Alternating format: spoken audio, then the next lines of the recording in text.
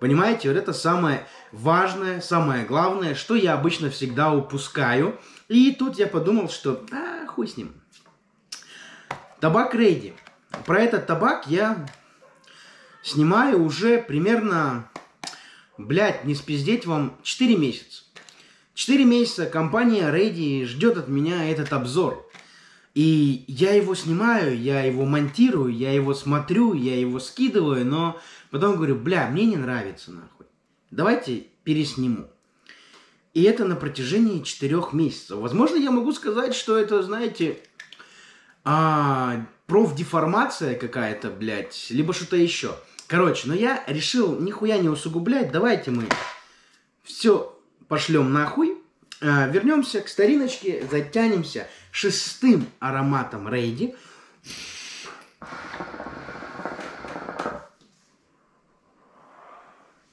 Полюбуемся, какой он дымненький, какой он сладенький, какой он хорошенький.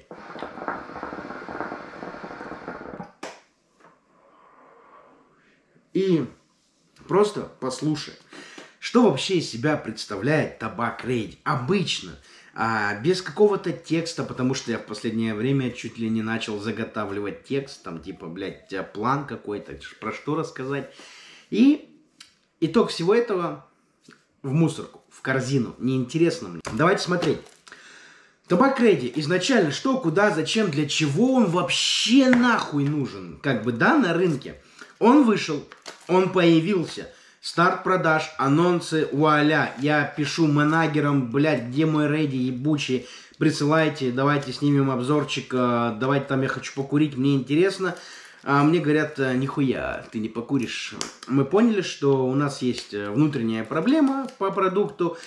И мы тоже идеализируем, и нам показалось, что продукт еще не готов к продаже, но мы вот поторопились, так же, как и я, грубо говоря. Поэтому мы все берем и все на мусорочку.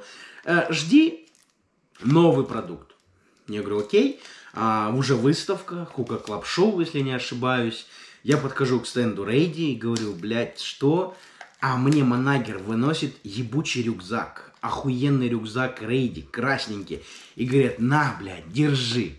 Здесь все 10 ароматов Рейди. Да, сегодня был дроп уже 18 вкуса, понимаете? А Дава до сих пор снимает обзор. Это пиздец. Такое бывает, такое случается. И этот. А, сейчас давайте мы разберемся. У нас есть, знаете сколько? У нас вроде есть 16 вкусов. Если я не совру, да, я насобирал 16.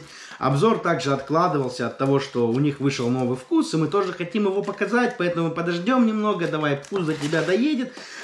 В итоге вот это все насобиралось, и я понимаю, что каждой пачке у меня по одному вкусу, и как бы это нужно показать. А, потому что я-то то, что у меня было, я уже скурил, и мои слюни уже на эти пачки текут. Я хочу и это скурить тоже. Потому что за тот рейди, который был, а, собственно, утилизирован и был не готов к продаже, а, почему-то было очень много жалоб за счет того, что он пластилин. А, я же прокуривал, для меня это прям супер критично не было. Знаете, типа, ебать пластилин, ебать. Вот такой вот хуйни не было. То есть, да, он был плотнее, да, он был более спрессованный, он там, ну, рыхлился ровно на пол, блядь, на пол очка сложнее, чем обычно. Но все хотят идеальности, и компания Ready в том числе тоже этого хочет. Поэтому я вам хочу представить уже обновленный Ready. Собственно, а, пачку ним я уже открыл. С таким вот красивым внутренним пакетиком. Знаете, вот немного олдскуловый. И по сырью он уже... Ну, если кто-то пизданет, что это хуёво рыхлится, то я уже уверенно скажу, что это ты хуёвый рыхлитель, блядь. Потому что он стал максимально пушистый, и это, с одной стороны, тоже начинает не нравиться, потому что он слишком пушистый. Ты его вроде пытаешься 30 грамм эти уложить, там, грубо говоря, в огромную турку, которая сейчас у меня стоит на этом кальяне, такая древняя турка, а, рассчитанная, блядь, не спиздеть на 50 грамм. Ну, нихуя, остается еще. А я не хочу, чтобы оставалось. И поэтому он слишком рыхлый теперь. Рейди, давайте нахуй запаковывайте все и обратно. Ищем золотую середину. Нужна золотая середина. А, топ 5 ароматов Рейди, от которых я, ну, дико кайфанул. Вот прям дико-дико. Поэтому давайте мы более по-дикому снимем обзор, без всех этих, блядь, что, куда, компания Ready, какие смыслы, а что компания из себя представляет, кого, каков ее потребитель, что она даст потребителю, это крайне, как оказалось, ну, неинтересно и неэффективно. Люди хотят услышать, что из себя вообще представляет продукт.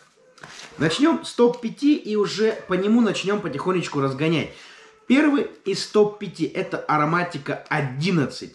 Она просто божественная. Это молоко, миндаль и кокос. То есть фанатом чего какой-то выпечки, а, чего-то молочного, йогуртового, то ароматика 11 а, One Love. А, идем к следующему вкусу. Это ароматика 13. То есть, чтобы вы понимали, это уже те вкусы, которые выходили после того, когда мне это все дали.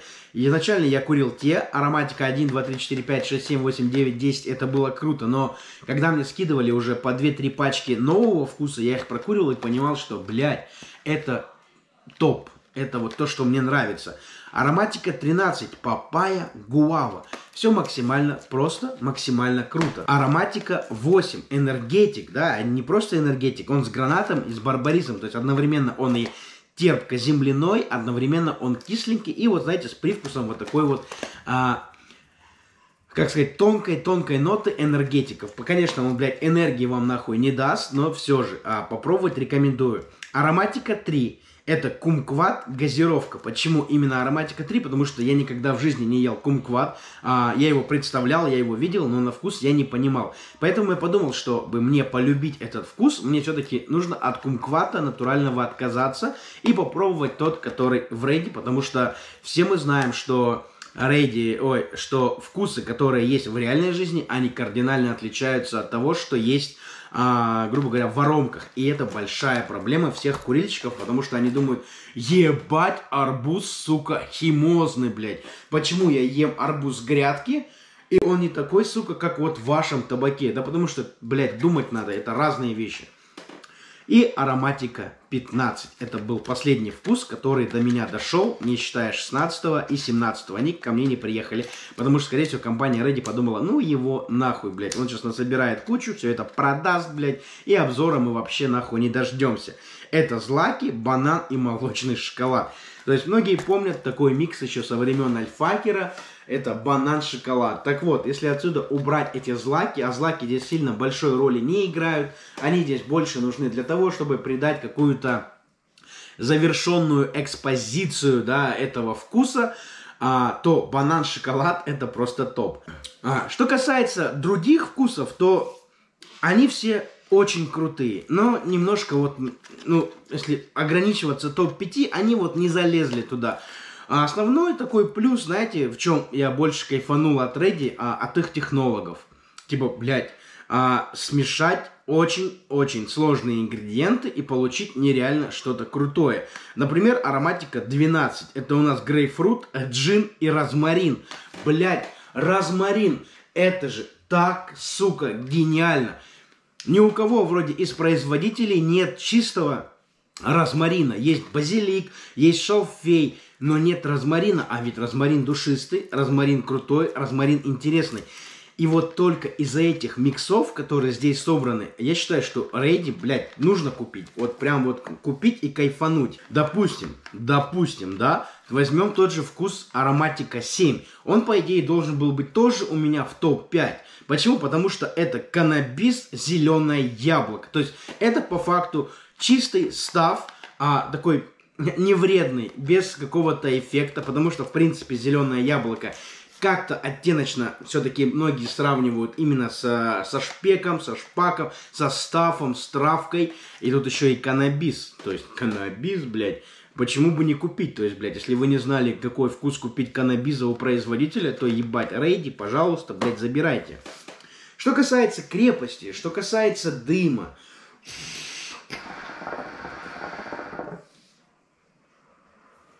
он получился нереально жаростойкий.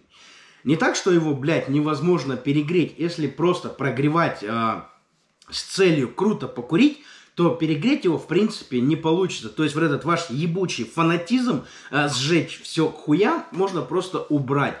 То есть любой табак можно перегреть, если я буду хотеть его перегреть. Здесь же этого не надо делать. Просто бьешь чашку, которую хочешь круто покурить, и ты будешь уверен в том, что она нахуй не перегреется, блядь. Понимаешь? Если я захочу перегреть, я, блядь, перегрею. По крепости. Крепость просто покурить, почилить, именно насладиться вкусом. А кто долго курит в рейде, вы не найдете ничего того, что может вас так, ох, ебать, что-то подцепило. Нет, блядь, здесь такого нет. Это просто продукт, который приятно курить из-за ее ароматики. Поэтому здесь большой упор идет, блядь, в эти вкусы, блядь. Лаванда, вино. Чем нет, блядь. Здесь реально не нужна крепость. Здесь нужно муа, вкус, вкусывать, блядь, эту аромку. То есть ты покурил каннабиса, которые есть а, в вневредной, да, такой форме, и прокуриваешь все остальное, если у тебя, конечно, хватит денег купить еще помимо каннабиса еще парочку вкусов.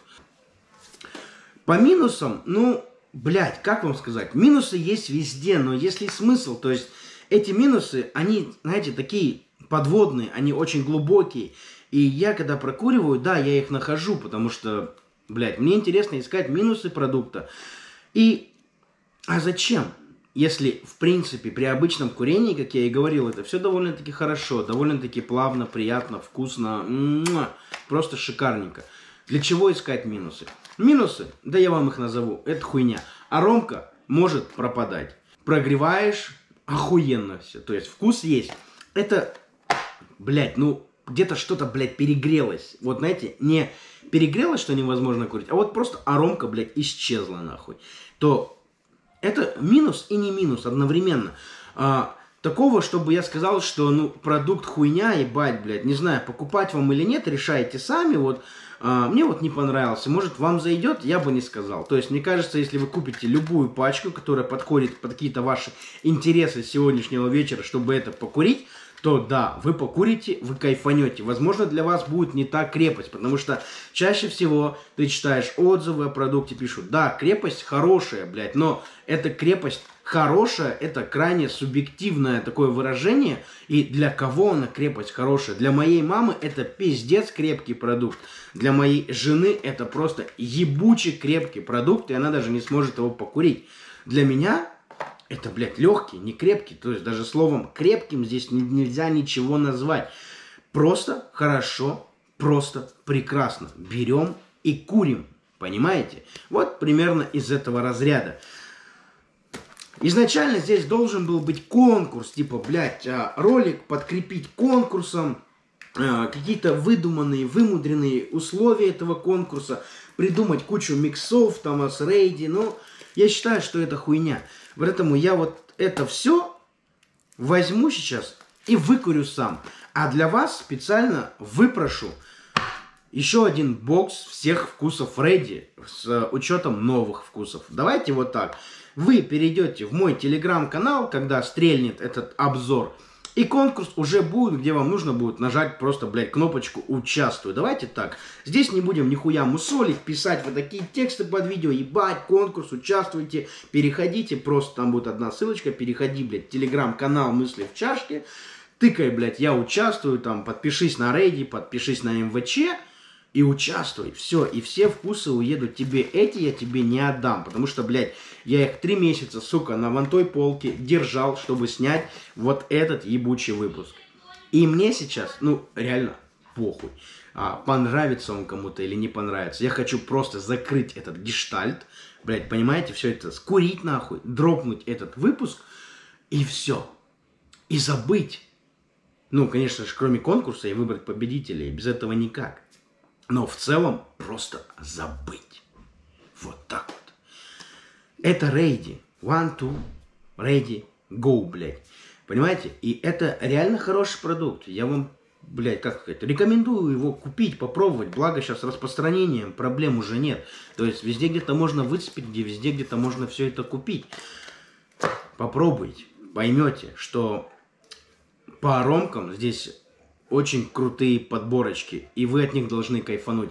Когда будете покупать, а, не думайте и не программируйте свой мозг, не ставьте ему задачу оценить его крепость. Сразу говорю, если ты курильщик там того же Дарксайда, того же, блядь, я не знаю, Бенгера, Блэкберна, то крепость для тебя будет ни о чемная. Это честно, блядь. Возможно, не продажная фраза, да, но продажная здесь аромка. Ради нее стоит покупать рейди. Так что это был Дава, который все-таки решает не усложнять.